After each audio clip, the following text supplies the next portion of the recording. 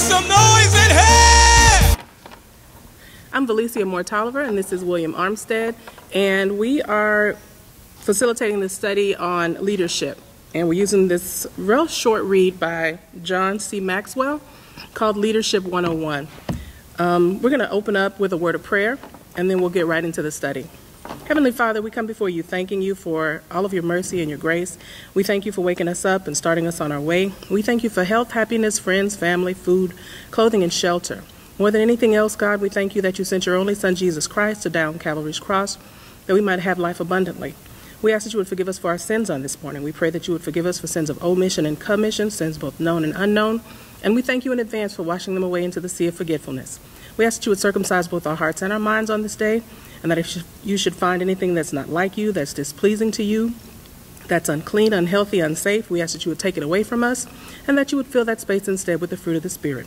We ask that you would open up our hearts and allow us to partake in your word. Let us not go forward and not apply it to our lives. In Jesus' name we pray. Amen. Amen. So, Leadership 101. Uh, John C. Maxwell has several texts on leadership, this being the shortest read. Um, he has several, seven uh, foundational tenets of leadership. And we're going to go in depth onto the first one, which is integrity. And um, we liken it to character. Uh, chapter one of the book starts with a story about the McDonald brothers, um, Richard and Maurice, the founders of um, the McDonald's franchise. And the, they go into uh, a short narrative about how they decided to expand and the fact that they weren't natural leaders. And instead, they ended up partnering with um, Mr. Kroc. And the way the narrative goes, uh, has these uh, leadership abilities that make them more successful. And even though they had this power, uh, the position in, th- in that their their restaurants were functioning, they were viable, they weren't thriving and doing the best, best they could. And that really kind of was synonymous with the story that you and I talked about with, I guess it was Vashti and Esther, and how um, Esther had Mordecai as this older sort of a, a mentor, Yes. and her leadership therefore was much more effective. Yes, I think that was uh, that was the Book of Esther. That's the first one we talked about, absolutely. and we talked a little bit about Eunice and Lois, Yes. and how Timothy needed to be reminded of where, in fact, his um, character and his integrity and the, the state of his heart, where that uh, began, where it started from. Absolutely. So the first one, back to integrity. And the definition you found that we both agreed was probably the best was the quality of being honest and having strong moral principles. Moral uprightness, having integrity, means doing the right thing in a reliable way. It's a personality trait that we admire, and since it means a person has a moral compass that hasn't and doesn't waver. Absolutely.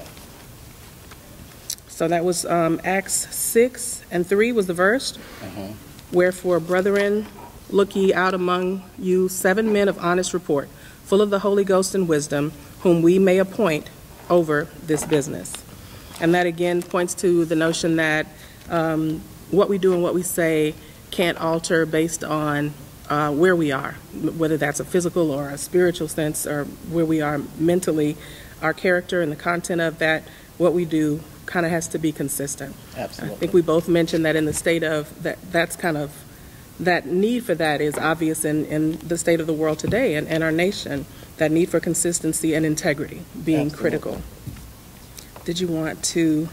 The second one I think was. Did you want to go into the ability to delegate or? Uh, well, well, we'll, yes, let, let's talk about uh, ability to delegate. Uh, again, and the definition that's provided is to uh, entrust a task or responsibility to another person, typically one who is less senior than thyself or oneself. The power delegated to him must never be misused. And there is a cliche that uh, we have known the world over with uh, uh, great power should come great responsibility. And we should be able to exercise that power and authority in the spirit of meekness at every level. Um, delegating authority, uh, we happen to be educators, and we're entrusted with uh, uh, our most valuable inheritance, and that's our children. Right. And they look to us for leadership. They look to us to make decisions integrity. They look to us to guide them in the way, as the Bible says, to align that in the way they should go. Right. And when they grow older, they won't depart. And even to align, align that same vein of thought with what's going on in the country. Delegating authority, you must take res- responsibility when you make bad decisions. Absolutely. You cannot claim uh, all the, the progress, all the good things, and, and, and, and, and rejoice in that, and not also accept some of those bad things that come along with it. Absolutely. So delegation happens on all levels of power in the family, uh, in the home, in education, in religious institutions, governmental bodies, and so on. Yeah, we had talked also about uh, that sense of discernment in Yes. delegating and, and selecting the right person for the right task. Oftentimes, we have the greatest of intentions, we have a good heart. Sometimes we can kind of put that one person and have way more on one person than needs to be. Absolutely. So having that spirit of discernment in deciding who, when, and where to delegate, definitely I have to agree. One of the critical traits of, of spiritual leadership and leadership in every sense. Yes. And then next was communication, which we agree in, in every sense of, of community, uh, communication is critical. Um, not only just saying what you mean, but at the same time meaning what you what you actually do say. Absolutely. So the definition we used was the ability to communicate information accurately, clearly, and as intended is a vital life skill and something that should not be overlooked. It's never too late to work on your communication skills, and by doing so, you may well find that you improve your improve your quality of life. I notice with young people, in fact, that's one of the first things we start to look at when we develop them, um, whether it's uh, for leadership specifically, is their ability to um, communicate, their ability Yes. to get their, their message forward accurately. Yes. And, and, and communication is carried out in many different ways. Uh, more than 80% of communication is carried out by body language. So we uh, uh, should be more self aware of what we communicate by our body language. Absolutely. You know, because uh, there's attitude in it. hmm You know, and, and the things that we do, especially unto the Lord and unto those people that have authority of it, we should have a uh, attitude of a go getter Absolutely. because the king's business requires haste. Right. I think um, communication, especially in um, in the in the leadership um, realm, uh, is critical primarily because um, people are, are constantly watching and Yes. constantly assessing and constantly getting that information. And like you said, not just verbally. There, pe- people are aware of everything in leadership. And so when we stand before others, um, how we dress, our mannerisms, Yes. everything is going to be a part of what we communicate to that audience. Absolutely.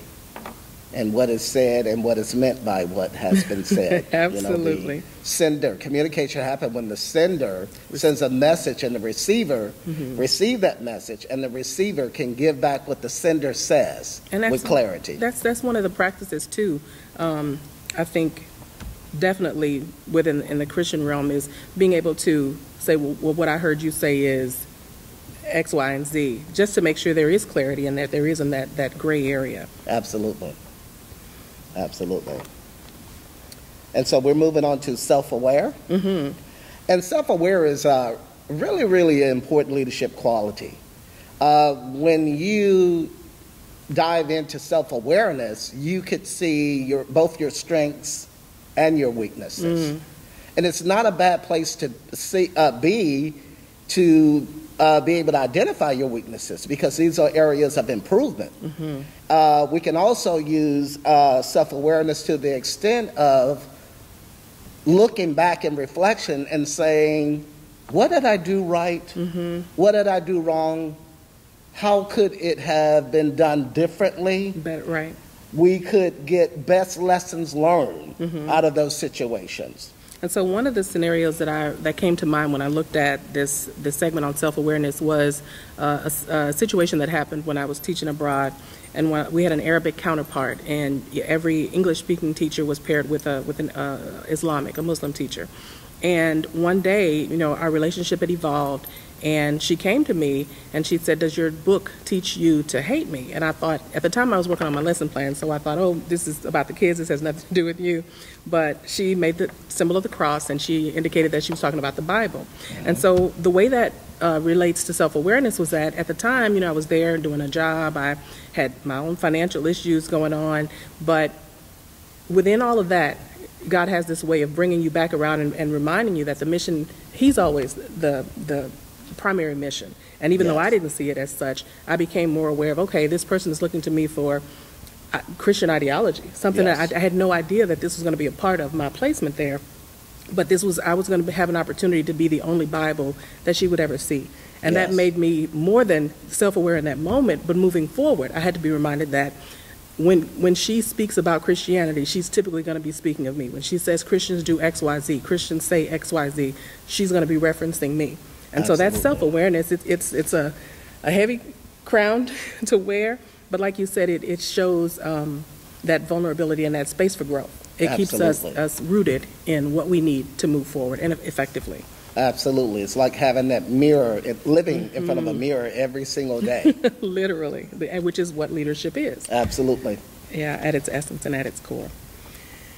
And gratitude, the spirit of gratitude, um, not one that typically comes to mind when I would think of, of leadership, but when I really started to, to delve into it, um, it's an honor. It is Yes. a privilege to be selected to, especially to, for kingdom work. Yes. And so the definition we use was gratitude helps people feel more positive emotions, relish good experiences, improve their health, deal with adversity, and build strong relationships. People feel and express gratitude in multiple ways. Yes. I'm, I'm reminded of uh, David. Mm-hmm. One, uh, he's among the uh, patriarchs that uh, I really enjoy reading and studying and Mm-hmm. meditating. Psalms 122 um, says, I was glad. Absolutely. And think of moments where you have been glad. What makes you glad? What makes you happy? What brings that excitement? But David had this testimony that he said, I was glad when they said unto me, Let us go. And think about all the places that we have gone that brought gladness. Right. And David is talking about going into the house of the Lord. And And what's so significant about that particular division of Psalm is that uh, when you look at leadership between Saul and David, Saul never went after the presence of God. He never went out there the Ark of the Covenant. Wow. And David went and recovered it. Hmm. And so, again, you can't miss anything uh, unless you had it before. right. And so Israel had lost the presence, lost that covenant relationship, lost that excitement. Mm. Their spirit was broken, but when they got the presence of God back, hmm. and also in everything that we do, we should do it in excellence as Right. people of God, as leaders of God, and as you said earlier, people are watching your influence mm-hmm. and they are learning vicariously. And again, David got the covenant back, the the uh, the presence of God, and many different places. He said, "I'd rather be a doorkeeper." Why? Because he was glad about it. And taking on leadership, we should find excitement in the growth of it, right. the ability to mentor, the ability to grow others. Mm, And again, uh, just focus on what makes you glad right. and let's work toward aligning that gladness with the spiritual principles uh, that is laid before us. Absolutely. I think back to Maxwell also, um, he ends that section with um, this uh, subheading called Success Without Leadership. And I think it really aligns with the whole gratitude concept in that here he was saying, you know, the, the brothers were moderately successful. Their, their business was viable, but it wasn't thriving. It wasn't mm-hmm. everything that it could be. Now, they could have been satisfied with, with just a, a viable business. And mm-hmm. yet, being humbling themselves, yielding to Kroc, much like we said, um, kind of Esther and Mordecai, their relationship, and mm-hmm. benefiting from that, and the gratitude in that, in the fact that that obedience allowed them to, to McDonald's to become what it is today. So I thought it was an impro- appropriate story to add to that first section, and then gratitude, of course, kind of being that centerpiece to all of the the traits of, of a, a successful and influential leader. Absolutely. Uh, learning agility is a fascinating trait to have. And in short, it lends itself to mean being flexible. Uh, we live in an information, high information society, where information we're inundated uh, with through social media, family, and all social institutions. 24 hours. And, and uh, 24 hours, you're absolutely right. And our minds and our bodies and our experience can't keep up with it. Right. And with that being said, we, lear- we need to learn how to be flexible, Right. learn how to operate in this learning agility, learning how to take large amounts of information and um, uh, make it clear and concise going back to communication. I'm reminded in the, in the Bible with King Solomon and his ability to demonstrate learning agility. When two ladies that happened to be harlots forget that they were harlots, wisdom and justice and, and, and learning uh, uh, agility was needed in that situation. And long story short, one lady, one harlot, overlaid her baby. She rolled over and killed her baby, and she swapped babies with the next lady. And to fast forward that story, they went between before the king, and they had these long narratives and stories to say, "Hey, what happened?" Right. But getting to the point, hence, uh, uh, uh, in the economy, they use this term "splitting the babies," hmm. meaning we're going to compromise. And so Solomon, this is in his uh, uh, learning agility, he said, "Bring me a sword." Hmm. We'll just split the baby. Hmm. You'll get the one mother get half, and the other mother get the other half. But the true mother cried out and said, "No, give her the baby." And then because of that learning agility, Solomon said, "No, this is the true mother." Right. Right.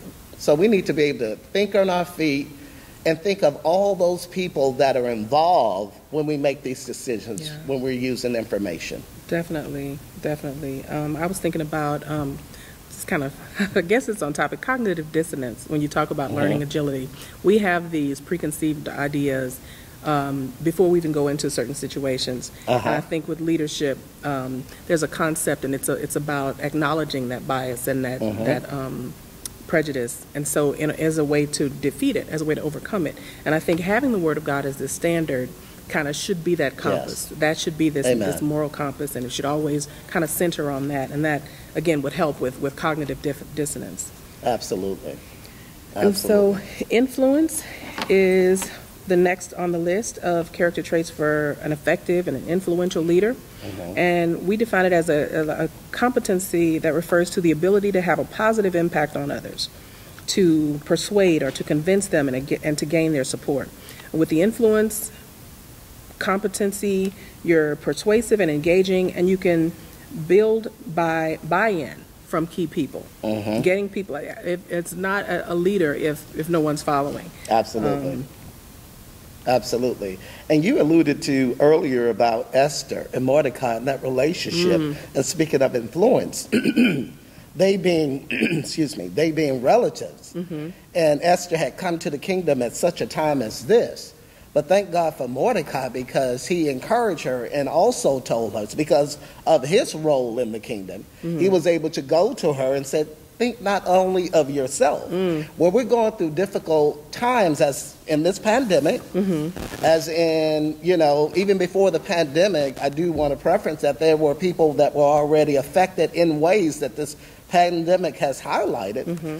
But uh, Mordecai, whose name means small fish in a big pond. And so how many times have we felt Mm. Like a- like a small fish in a big pond when God send you? Mm-hmm. And we do have to fiercely protect this influence. But to uh, uh, fast forward that story, he told her, think not only of yourself. Oftentimes we, we bring attention to what she said, if I perish, I perish. Mm-hmm. But we forget to read the book, whereas it clearly articulates in Esther, she feared. Mm, And we need to confront the thing. Anything you do not confront, you cannot change. right. And he confronted uh, um, Esther in love.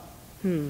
And she was able to, because of his influence, change her mind or fully persuade her. Absolutely. And we need to be able to persuade people to do the right thing. It's interesting too. I think that she, the Bible, she led with humility, even after she had been elevated to this high honor. Here, Vashti was, who had that that place of significance Yes. and influence, and used it in such a way that she was totally ineffective. Yes. and so much so that she disappears completely from the Bible after Yes. the first chapter. We never hear anything else about her. Yes. And yet here Esther is with this spirit of humility. Yes. and she's able to, and and she did so because she needed to plead for her people Amen. like you said, not about herself. That, and that's what leadership is, I think. It is that ultimate sacrifice, that um, putting the, the best interest of the greater good Absolutely. before oneself. Well said. Uh, empathy. Empathy is not sympathy. Empathy is the ability to understand and share the feelings of another. To put yourself in somebody else's shoes. Oftentimes, it's easy to say, now, if that was me, this is what I would have Right, In done. hindsight. But we have to understand things in context. hmm How many of us have been in a den of lions? Hmm. How many of us have been faced with being thrown into the furnace fire? Right. And not to minimize or diminish anyone's challenges or struggles or whatever, Mm-hmm. but again, we have been given stories and parables to reflect back upon. Absolutely. And when we look at leadership, we can look at leadership even at local levels, even in the family. The family is a good example of the kind of leadership, Mm, both good and bad. true. And uh, I'm an educator by profession, and one student critiqued me one in my um, earlier career and let me know that I was a terrible educator. and so, being agile, not sarcastic, being agile, I made the comment: you can learn just as much from a bad teacher as you can from a good one. It is up to you how you want to guide your learning. Right, right. Yeah, empathy. I, I'm looking at the again the state of of, of our country right now. I'm uh, seeing this level of diversity within in the protests and within this movement, and it's it's speaks volumes. I think for people who have lived with privilege all of their lives to now be able to do what I'm, I'm going to assume is, is empathize Mhm. with people who have been you know in this struggle for 400 years or more. Absolutely. So the level of empathy that I'm seeing, the level of involvement and engagement and participation, it's encouraging to say the, the very least. Yes. And oftentimes it, it- it's unfortunate that we uh, have to see the story Mm-hmm. instead of believing the history. Right, right, right, right, right. So the final, final character trait for today, uh, looking at effective leadership, is courage. And being courageous, courageous people believe in themselves. I think that part really, I had to take a moment when I, that part, just because it, it's, it's kind of, it's on the surface, seems Yes. really kind of simple, but the concept of, of really, even in this, and, and how I struggled with my first attempt at completing this study, believing in oneself. And they know how they are, they know who they are, and they know what they stand for. Yes. They have strong values, they recognize their personal capabilities, and they're confident in meeting the challenge that lies before them. Yes. Courageous people are passionate and purposeful. That this whole Yes. all of that kind of sums up everything in, in our leadership study. Absolutely. And, and courage is, is, is really powerful. Uh, we see it every day. It takes courage to protest. It does. Uh, don't minimize the power of protesting those people that are not protesting. Maybe you, you need to find your rank where you belong in it. You may not need to be on the front line. Right. Maybe you can donate. Absolutely. Maybe you can help with the flyers. Right. Uh, quickly to, uh, I'm reminded again of David. Mm. David has a, had a resume of courage. He Mm. said, "Thy servant killed the bear. Hmm. He killed the lion." And so we need to get experience in this courage. We need to go, grow from glory to glory. And he identified this giant, this bigger than life obstacle, and said, "But this uncircumcised Philistine, he'll be nothing." That's similar to what we were talking about with the, the, the spies that were sent out and the ones that came back and gave the, the varying reports. Right, right. And they were labeled wicked because they discouraged Mm-hmm. uh, uh, all of Israel. Mm. While the other two, Joshua and Caleb, said, We're more than able. So it takes courage. Right, Courage is right. believing beyond the facts. especially in the face where other people are contradicting you.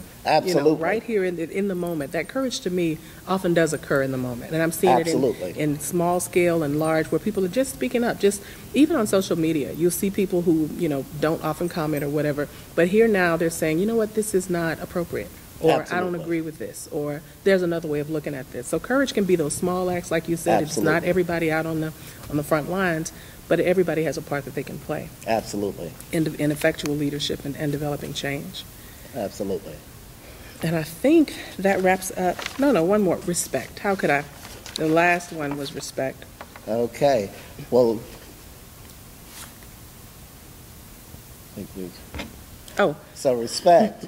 Uh, we have dubbed Aretha Franklin as being the queen of soul, and that particular anthem has moved the civil rights movement. Uh-huh. And the civil rights movement has never ended. right. And we are still demanding R E S P E C T in the church, in our uh-huh. leaders, our national leaders, mm-hmm. our local leaders. Absolutely. In the home, we declare God requires uh, respect. Absolutely. And again, respect a feeling of deep admiration for someone or something elicited by their abilities, qualities, or achievements. Mm-hmm. and so, again, respect is still required even today. Absolutely. And, And- it's not always easy. You know, that's not, that's- Absolutely. yep. You're right. yeah. So we are going to end, I guess, in a word of prayer as well. And I'm going to send the handout to accompany this lesson. And thank you for this opportunity. I'm glad to be a part. Father God, we thank you for this time of fellowship. We thank you, God, for being able to partake in this word and share. Lord God, let it continue to go from heart to heart. Let it community to community, Lord God. Let it resonate with your people. Lord God, let it bring change. Let it bring conviction. We thank you for it. We, we are grateful today to have this moment. We could have been anywhere else, but we desire to be here. In Jesus' name we pray. Amen. Amen. Amen.